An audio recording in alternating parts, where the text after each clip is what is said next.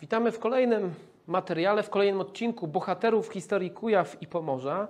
Tym razem skupimy się na postaci księcia Władysława Opolczyka, który był co prawda piastem, ale jeśli chodzi o historię Polski, to nie do końca pozytywnie się w niej zapisał. Władysław Opolczyk nie wiemy, kiedy dokładnie się urodził. Historycy nie dotarli do konkretnego źródła. Wiemy, że urodził się najprawdopodobniej pomiędzy 1326 roku, rokiem a 1332. Był synem księcia opolskiego Bolka II i Elżbiety Świdnickiej. I co ciekawe, ta Elżbieta Świdnicka była wnuczką Władysława Łokietka, czyli możemy powiedzieć, że Władysław Opolczyk był prawnukiem właśnie e, polskiego króla Władysława Łokietka. Pierwsze doświadczenia polityczne Władysław Opolczyk zdobył mm, na tronie, na dworze węgierskim. Służył królowi węgierskiemu i to właśnie z nim zdobywał pierwsze szlify, jeśli chodzi o dyplomację. W 1356 roku po śmierci swojego ojca zostaje księciem opolskim i zarządza właśnie swoim e, księstwem, które tak naprawdę tą władzą musi dzielić się ze, swoimi, e, ze swoją rodziną.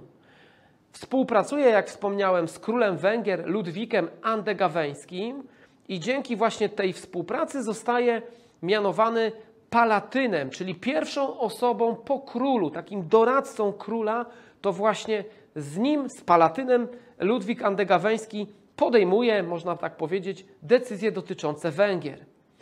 Po śmierci Kazimierza Wielkiego w 1370 roku to właśnie Władysław Opolczyk jako najbardziej zaufana osoba Ludwika Andegaweńskiego, to właśnie Władysław Opolczyk przygotowuje proces przejęcia tronu w Polsce przez Ludwika Andegaweńskiego. Ja tylko przypomnę, że pomiędzy Ludwikiem Andegaweńskim, którego mamą była siostra Kazimierza Wielkiego, czyli Elżbieta Łokietkówna, doszło pomiędzy tymi dwoma monarchami do podpisania porozumienia dotyczącego przejęcia władzy w przypadku śmierci któregoś z nich. Pierwszy umarł e, Kazimierz Wielki i władzę w Polsce, tron w Polsce przejął Ludwik Andegaweński. Władysław Opolczyk za swoją służbę na rzecz Ludwika Andegaweńskiego otrzymuje w Lenno ziemię wieluńską, zostaje mianowany również przez króla Węgier namiestnikiem na Rusi Halickiej, to jest dzisiaj część e, Ukrainy, Ukraina e, Zachodnia, oraz to on inicjuje spotkanie króla z polskim rycerstwem w Koszycach w 1374 roku. Wówczas Ludwik Andegaweński dogadał się w cudzysłowie z, polską, e, z polskim rycerstwem, e, dał Polakom przywilej pierwszy, a polscy rycerze zgodzili się na to, aby po śmierci Ludwika Andegaweńskiego władzę w Polsce przejęła jego córka. Zostaje wielkorządcą w Polsce, czyli takim jakby namiestnikiem E, króla Ludwika Andegaweńskiego w Polsce w 1378 roku. Wówczas z Polski wyjechała Elżbieta Łokietkówna. E, Opolczyk e, funkcji wielkorządcy nie pełni długo, zostaje odwołany przez Ludwika Andegaweńskiego i wówczas pojawia się Opolczyk w ziemi dobrzyńskiej, czyli na części Kujaw z Bydgoszczą, Inowrocławiem i Gniewkowem. Te dwa obszary otrzymuje z Mm, namaszczenia Ludwika Andegaweńskiego. I wówczas rozpoczyna się współpraca e, Opolczyka z Krzyżakami. Kolejny władca, Władysław Jagiełło, nie jest już taki skłonny do współpracy z Opolczykiem. Opolczyk stawia się polskiemu e, władcy. Dodatkowo Opolczyk jeszcze prowadzi spór o finanse z biskupem płockim Dobiesławą Dobiesławem Sówką. To wszystko powoduje, że nie jest osobą lubianą na polskim e, tronie, na tronie Władysława Jagiełły. Władysław Opolczyk, e, co ciekawe, po śmierci Ludwika Andegaweńskiego nawet wysunął swoją kandydaturę na polskiego króla.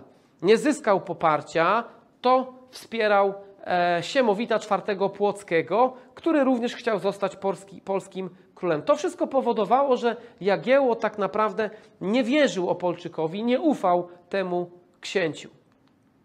Władysław Opolczyk współpracuje z Krzyżakami i w 1392 roku zastawia Krzyżakom e, prawa do ziemi dobrzyńskiej. Nieco wcześniej zastawił im również złotorię, a jeszcze wcześniej zastawił im swoją koronę książęcą, którą wykupił za ten zastaw z 1392 roku. Co ciekawe, Władysław Opolczyk tak bardzo nie lubił Władysława Jagieły, tak bardzo nie lubił Polski, że nawet zaproponował wielkiemu mistrzowi Konradowi von Wallenrode rozbiór Polski pomiędzy zakon Węgry i Czechy. To wszystko prowadzi tak naprawdę do wojny z królem, do konfliktu z Jagiełą.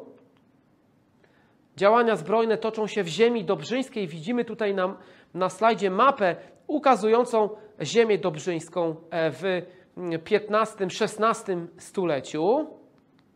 W ramach naszej audycji zostało zdigitalizowane zdjęcie poświadczające zastaw przez Władysława Opolczyka ziemi dobrzyńskiej zakonowi krzyżackiemu w 1392 roku.